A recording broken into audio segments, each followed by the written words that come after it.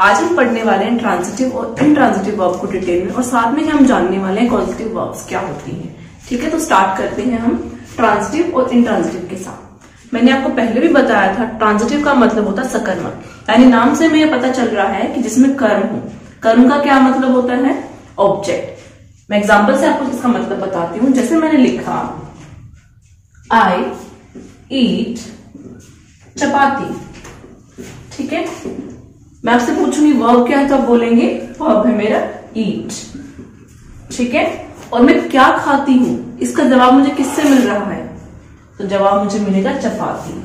तो यानी वर्ब का प्रभाव डायरेक्टली मेरा जिसके ऊपर पड़ रहा है, वो मेरा ऑब्जेक्ट या फिर कर्म कहलाता है। ठीक है? तो यहाँ पे चपाती क्या हो गया? ऑब्जेक्ट या हिंदी में इसको हम कहते हैं कर्म। तो इस तरह की वर्ब जिसके साथ कर्म का होना मस्ट है उसको हम क्या बोलेंगे? ट्रांजिटिव वर्ब जैसे I eat chapati I right ऐसे आई राइट पोएम ठीक है? बल्कि कुछ ऐसी वर्ब्स भी होती हैं जिसके साथ कर्म नहीं होता है। जैसे मैंने बोला आई स्माइल आपसे क्वेश्चन पूछूँ, मैं क्या स्माइल करती हूँ? तो कोई सेंस नहीं बनी लॉजिकली कोई मतलब बन नहीं रहा है। यानी इस तरह की वर्ब अपने आप में ही कंप्लीट है, उनको किसी ऑब्जेक्ट या कर्म की आवश्यकता नहीं है। ऐसी वर्ब्स को हम बोलते हैं इंट्रांसिटिव वर्ब मैंने बोला आई फ्लाई और मैं क्वेश्चन पूछूँगी, मैं उड़ती हूँ. मैं क्या उड़ती हूँ? कोई सेंस नहीं बन रही ना? उड़ाती होता तो सेंस बन सकती थी, लेकिन मैं उड़ती हूँ. कोई सेंस नहीं बनेगी, क्या या किसी टाइप का क्वेश्चन पूछने की? तो ऐसे क्वेश्चन ऐसे सेंटेंस जिससे मुझे क्या या किसी का जवाब मिल रहा है. तो वो होते हैं ट्रांजिटिव वर्ब्स जैसे मैं एग्ज़ाम्पल लेती हूँ. बर्ड इज़ फ्लाइंग इसका मीनिंग क्या हुआ? पक्षी उड़ रहा है। सेंटेंस मेरा कंप्लीट है। क्या मुझे किसी ऑब्जेक्ट की ज़रूरत है? नहीं है। क्योंकि अपने आप में कंप्लीट सेंस दे रहा है कि पक्षी उड़ रहा है। ठीक है? लेकिन अगर मैं लिखती हूँ आई एम फ्लाइंग इसका क्या मतलब हुआ? कि मैं उड़ रही हूँ। क्या ये सेंटेंस ठीक है? मैं उड़ रही हूँ या मैं उड़ा रही हूँ? मैं क्या कहना चाह रही हूँ? तो बिना ऑब्जेक्ट के ये सेंटेंस मेरा इनकम्प्लीट है लॉजिकली इनकरेक्ट है सेंस नहीं बन रही है।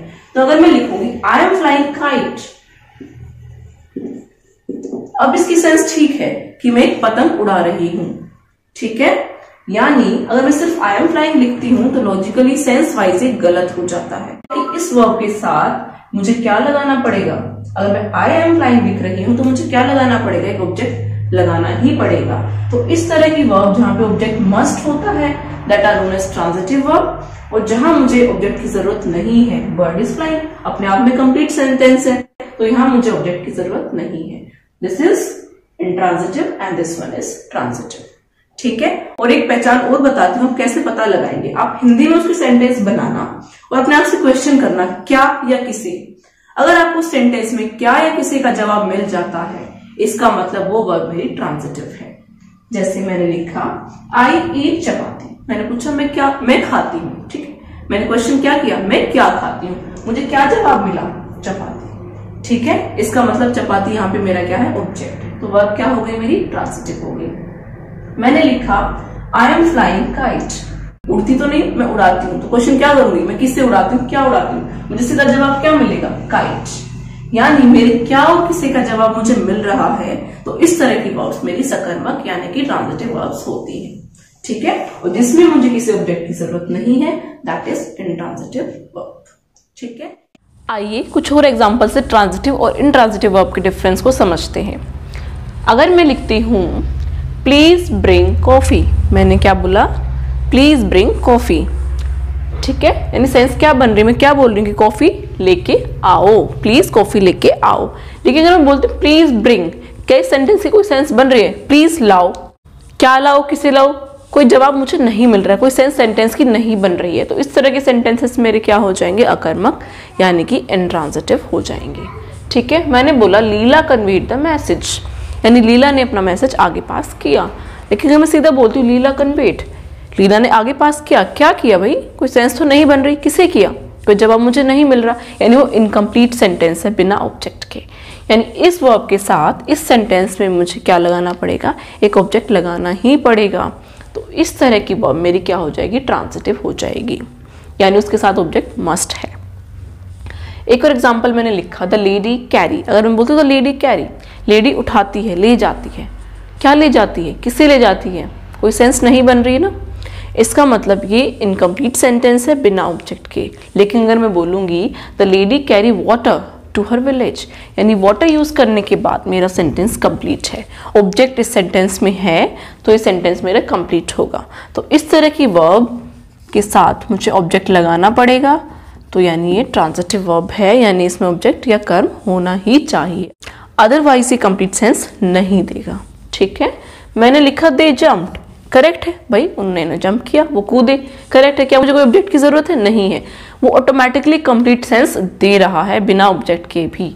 तो इस तरह की वर्ब्स मेरी होती है इंट्रांसिटिव यानी जिसमें मुझे किसी ऑब्जेक्ट की ज़रूरत नहीं है। कुछ और एग्ज़ाम्पल लेते हैं। शी सेंग उसने गाया। ठीक है। She sang a song then it makes a complete sense है ना? अगर मैं लिखती हूँ ही स्माइल्स क्या मुझे किसी ऑब्जेक्ट की ज़रूरत है? वो क्या स्माइल करता है? वो किसे स्माइल करता है? कोई सेंस नहीं बनेगी। यानी बिना ऑब्जेक्ट के ही ये सेंटेंस मेरा, ये वर्ब मेरी कंप्लीट सेंस दे रही है। ही स्माइल्स वो हंसता है। क्या हंसता है? किसे हंसता है? मुझे किसी ऑब्जेक्ट की ज़रूरत नहीं है। यानी इस तरह की वर्ब्स मेरी होती हैं इंट्रांजिटिव वर्ब्स जिसको किसी ऑब्जेक्ट की ज़रूरत नहीं है, वो अपने आप में ही कंप्लीट सेंस देते हैं। A light was shining light चमक रही थी। अपने आप में कंप्लीट सेंस दे रहा है। क्या मुझे ज़रूरत है कोई ऑब्जेक्ट लगाने की? Light was shining it is automatically giving a proper sense यानी मुझे किसी ऑब्जेक्ट की ज़रूरत नहीं है। लाइट वॉज़ शाइनिंग ये अपने आप में कंप्लीट सेंस दे रहा है। तो ये वर्ब मेरी क्या हो जाएगी? इंट्रांजिटिव वर्ब हो जाएगी। आई होप आप सबको यहाँ तक क्लियर है। आगे आने वाली वीडियो में मैं पॉजिटिव वर्ब्स डिस्कस करने वाली हूँ। हैव मेक और गेट हमारे साथ जुड़े रहे।